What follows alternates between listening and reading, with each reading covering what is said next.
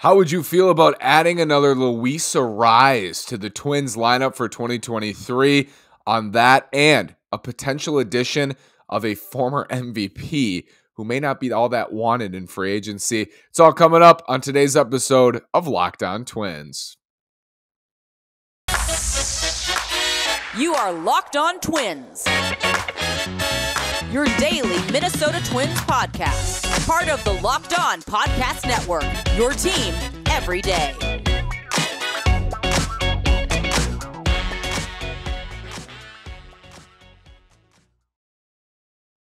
And welcome to the Locked On Minnesota Twins podcast. Today is Thursday, December 1st, and I'm your gracious host, Nash Walker. Thanks for making Locked On Twins your first listen every single day on the Locked On Podcast Network, where it's your team every day. Again, this is Nash Walker, three seasons hosting a daily podcast on the Minnesota Twins four seasons writing about the Twins at twinsdaily.com. How would you feel about adding another Luis Arraez to the middle of the Twins lineup? Sounds pretty exciting to me. That plus a former MVP is on the open market after a non tender. Is there anything there potentially on the Twins side? And should they want this former MVP in free agency? We'll start with Luis Arraez type bat, who's a free agent this offseason. Michael Brantley. Michael Brantley. If you're a longtime Twins fan, or not even, you probably know the name because he played for Cleveland. He played against the Twins quite a bit in his time with Cleveland, was very, very good for Cleveland. Left handed hitter, contact oriented, you know, ball in play, dynamo, Michael Brantley, and, and it's reflected in his numbers. Over the last five seasons, his season was ended short in 2022 because of shoulder surgery. If you combine the last five years, going back to 2018, Michael Brantley has hit 307 with a 367 on base percentage, and he's slugged 465. That's an OPS at 832, an OPS plus at 124. 180 walks, 237 strikeouts. He's left handed. He's going to be 36 in May. So he's 35 and coming off shoulder surgery on the open market. Played for Houston the last four years, two of those years all star level seasons. He's been terrific essentially his entire career. I love this type of player and I think a lot of a lot of baseball fans whether you are new school, old school, whatever you are, you love this type of player. And I think that's why almost everybody loves Luis Arraez. Like my White Sox fan friends think Luis Arraez is amazing. And Luis Arraez is very good, but that style of play, like that type of hitter, there's something about that in today's game that's so mesmerizing. And then you have the on base percentage to boot drawing walks, getting on, you know, hitting for contact, driving in runs. Luis Arraez has been terrific with runners in scoring position in his career. Michael Brantley, he'll draw walks and he just doesn't strike out. Over the last five seasons combined, 10.6% strikeout rate, 11% strikeout rate, 8% walk rate. Unreal. He, he is an extreme version of contact oriented and he's got some power. Like he hit 29 home no, I'm sorry. In the last 5 seasons, he's combined for 57 home runs. He hit 22 home runs in 2019. Over the last 3 seasons combined, not as much. He's only hit 18 in those 3 years and they've been cut short by injury this year with the shoulder and then he only played 121 games in 2021. So he's getting up there. He's getting up there. That has to be part of this equation. He's a free agent and I wonder with him if there's too much hype around what once was. Like, you don't know. He's coming back from a shoulder surgery at 35. There are question marks here. Defensively, think about him as a DH. He's going to be a, a, likely DH for 2023. That's how you have to think about Michael Brantley. Could he could you stick him in left field? Perhaps. And for the Twins, they don't necessarily need a left-handed corner outfielder, right? That should be a strength and we went over this with other guys on the free agent market with Mitch Haniger and and you know with Cody Bellinger today as well. They don't necessarily need that. That should be a strength, but they are in that position, this envious position, I think, in some ways, where they don't have enough holes to fill where they can't focus on other spots. Right? You got to fill shortstop. You need to fill catcher, but beyond that, they have flexibility to do a lot of different things and they can add whoever they want at any position and you can shuffle guys around you can trade max kepler you can do different things with this roster. If you like Michael Brantley, you can bring him in and not worry about the repercussions. Not every team can say that That's not a, a great place to be because on paper, the Twins are, you know, a hovering 500 team as currently constructed by ZiPS it's not like they have this dynamo roster where they can bring in anybody or you know there's spots that are filled this is a roster that has they could fill the team today but they could legitimately improve at every single position they could get better everywhere you know in center backup center fielder they could get better in center they could get better in right and left field they can uproot whoever basically in the corner outfield spots. And Kepler, Kirilloff, Larnach, none of those guys are locked into spots for 2023. So that's that's an envious position to be in. I, I could see a scenario where the Twins trade Max Kepler and they bring in Michael Brantley as a different type of bat and hopefully a higher upside bat and a Luis Arraez type bat. You're basically adding another Luis Arraez to the lineup if you get a healthy Michael Brantley and healthy. You're hoping he's healthy, but that's Imagine that. Imagine that's what you're getting. And because he's coming off a year where he had shoulder surgery, he's 35 years old, he can't really play in the field anymore. The market is going to be dampened. It's a likely one year, you know, 13 to 15 million dollar deal, I think, for Michael Brantley. So you can get him out of value, certainly. And if he is healthy, you know, for a majority of the season, you could you could sign Brantley. And because he's he's his value is lower because of injury and and ineffectiveness in the field, you can sign Brantley and sign Carlos Correa. And then you're looking at a top four of Luis Arraez, Carlos Correa, Michael Brantley, and Byron Buxton. And then Jorge Polanco at fifth. And then Jose Miranda sixth. The lineup possibilities there are really fun to think about with some serious upside. So you have that contact, you have the thump, you got that alternating right, left, right, left, which I love. The possibilities are endless in my mind for Michael Brantley, but it's just can he stay healthy? Can he be on the field? A former MVP, also a free agent. Let's compare these two. Who would be a better investment, more upside after this word from betonline.net? Betonline.net is your number one source for sports betting info, stats, news, and analysis. Get the latest odds and trends for every professional and amateur league out there. From football to basketball to soccer and esports, we've got it all at betonline.net. And if you love sports podcasts, you can find those at betonline as well. We're always the fastest and easiest way to get your betting fix. Head to the website today or use your mobile device to learn more. BetOnline.net is where the game starts. I prefer desktop, but whichever you prefer. If you like to use your phone, you like to use the computer, you want to use your iPad, you want to use your Android, whatever you're looking for, betonline.net is compatible across all platforms. It really is so easy to use and it's the best place to go. It's the number one source for sports betting info, stats, news, and analysis this season for football, for basketball, for hockey. Whatever you're looking for, they have you covered at BetOnline. BetOnline is where the game starts. Thanks again for making Locked On Twins your first listen every day. Now, for your second listen, check out Locked On Sports today. From the games that matter the most to the biggest stories in sports, go beyond the scoreboard and behind the scenes with local experts and insights only Locked On can provide. Locked On Sports today, available on this app, YouTube, and wherever you get your podcast. Michael Brantley, intriguing, intriguing on the free agent market.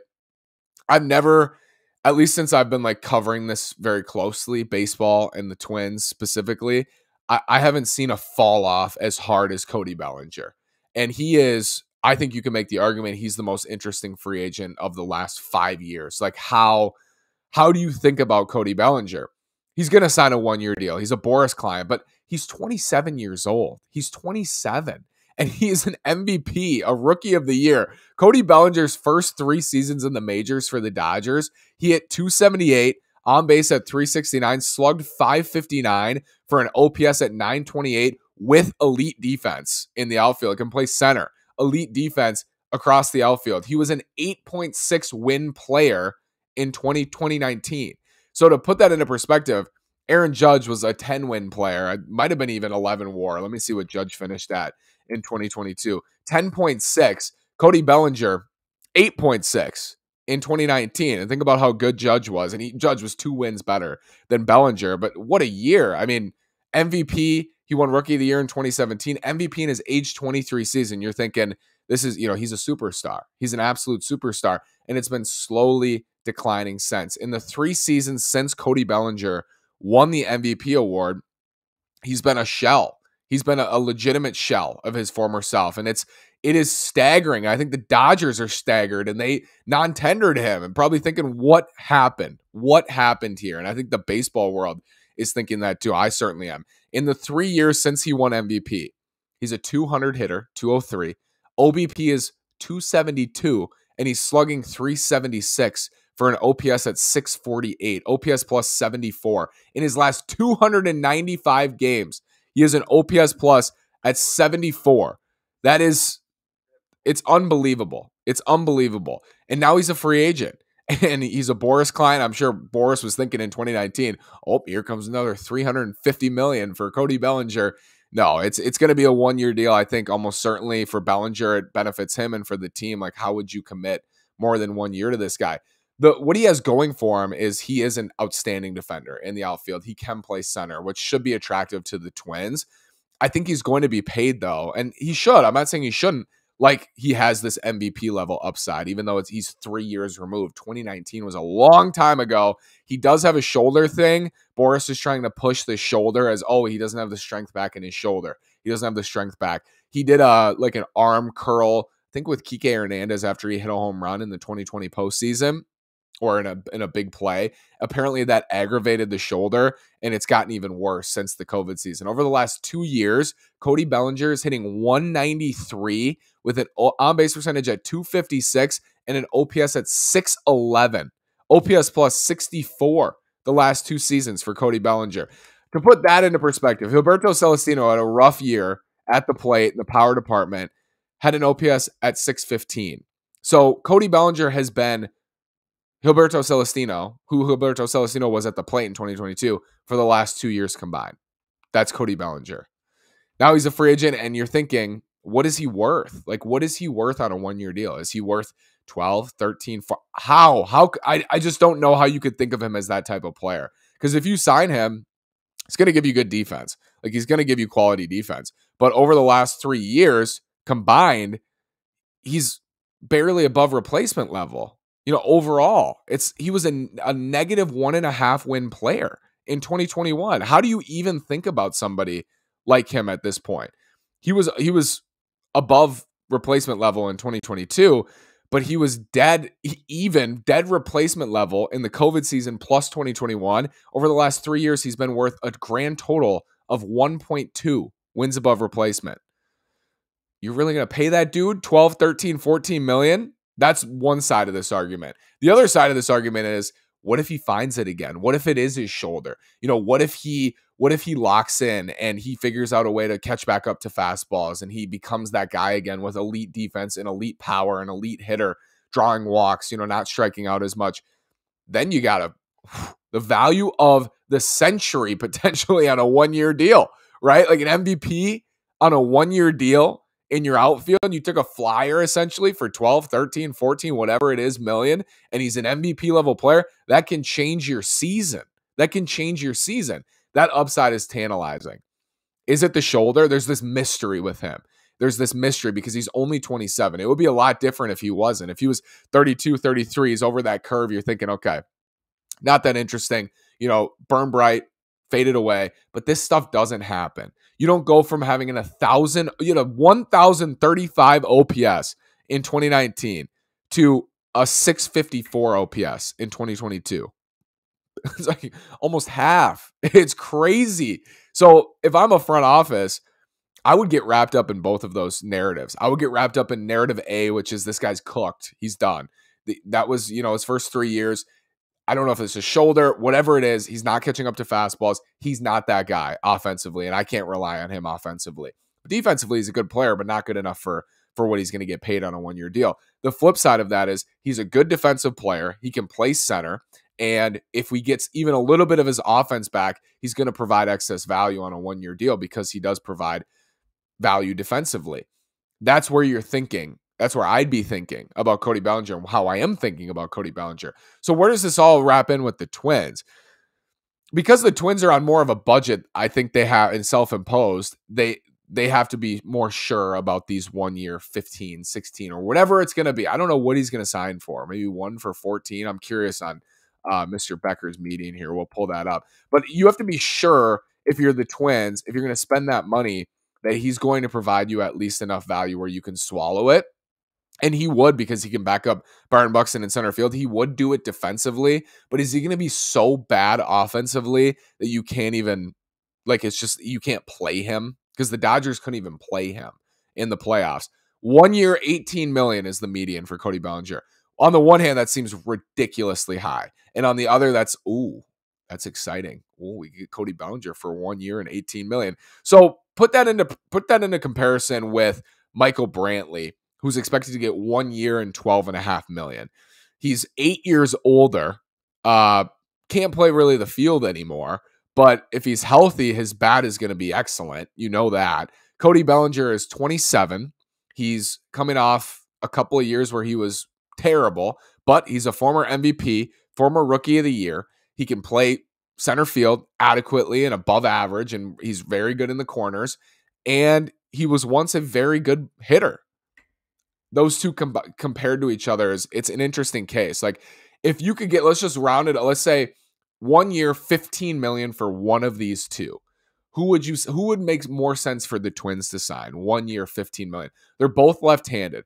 I think Bellinger for the Twins because he can play center field, because he has more roster utility, because the Twins have enough guys who don't have roster utility. I think Bellinger, and then there's that upside factor of it. I could also see the scenario where he hits like he has over the last two years, and you're watching and thinking, like, who is this? Why would they sign this guy? Why is this guy playing? I can already see the tweets on my feed. What Cody Bellinger? He's terrible. Sit him. Why is Rocco playing Bellinger? Well, they paid him 15 million to play in 2023. I can already see it like unfolding in my head if the Twins were to do something like this. I don't think they will, but it's an interesting exercise to look. The safer it's it's weird because neither feels like safe, and you could honestly make the argument that Bellinger's safer, even though he has a shoulder thing too. It's not like as cut and dry as Brantley getting shoulder surgery. Bellinger's a little further removed from that, but it feels like Bellinger's the safer option because he can play defense. Like if Brantley can play 50 games and left, that'll be that'll be good. You you hope for that. But he's mostly going to DH, I think, in 2023, especially after the shoulder. Bellinger, the floor some somehow feels higher because he can play defense. But then you look at Brantley and the floor feels higher because he can actually hit. And Bellinger hasn't hit since 2019, pre-COVID. Like think about how long ago that was. So it's um these two fascinating to me. Like I, I think there's going to be some reactions when Cody Bellinger makes more than Michael Brantley on the free agent market, which I think is a high likelihood. There's going to be some reactions like, "What? Are you kidding me? Bellinger made more than Brantley? Like that's Bellinger hasn't been good in years." And there's, I think there's going to be some reactions like that if if that's how it plays out. For the Twins specifically, I do think Bellinger makes more sense for them, but I just I don't know how I would feel about them committing 15 million dollars to him when they have, you know, flexibility to do other things. Now, if you trade Max Kepler, you trade away Kepler and his eight and a half million for prospects or for minimal salary in return. I'm working off the assumption that this payroll is going to be about 150 million. Hopefully it's more. And if it's more, then Bellinger makes more sense.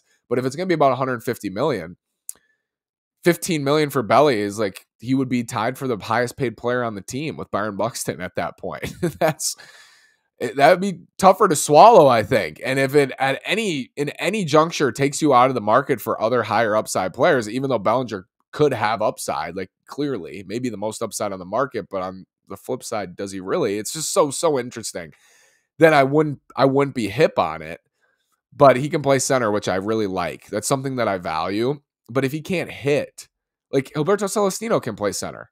And and not at the level of of Bellinger, but if Bellinger can't hit, like what's the actual value of that? You you have Celestino who also can't hit, but he can play a decent center field. And it's like, is it worth it? Is he worth it at that point? You'd have to be more sure that he's going to bounce back. Baseball reference, their projections for 2023, and a lot of this is based on what he's coming out of, but they have him hitting 212 with a 278 on base percentage and slugging 379 for an OPS at 657.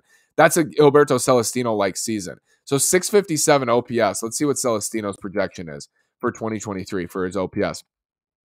657 for Judge, 652 for Celestino.